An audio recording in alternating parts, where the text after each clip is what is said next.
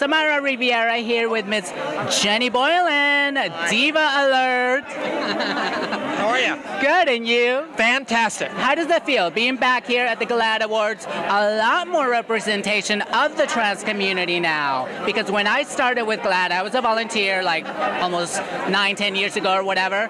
There was like zero. I'm glad you noticed that because as a board member for the last seven years and as chair of the board for the last four, um, opening this organization to trans representation and to the work that needs to be done to protect transgender people was one of my top priorities.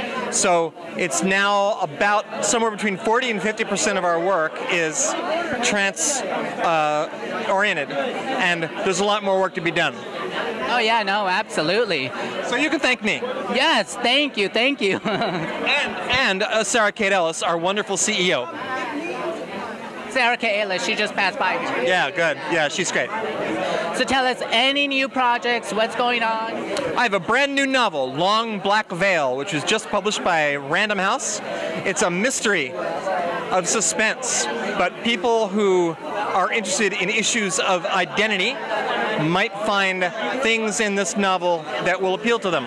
It begins on a hot day in, a, in the summer of 1980 when a group of friends get themselves accidentally locked inside an abandoned prison and then just as quickly find that they are not alone.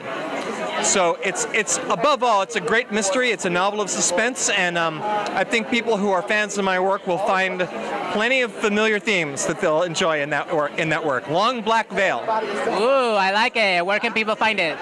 Well, you can find it in bookstores across the country and um, uh, in your online booksellers, Amazon and BarnesandNoble.com, and all of your great independent bookstores across the country.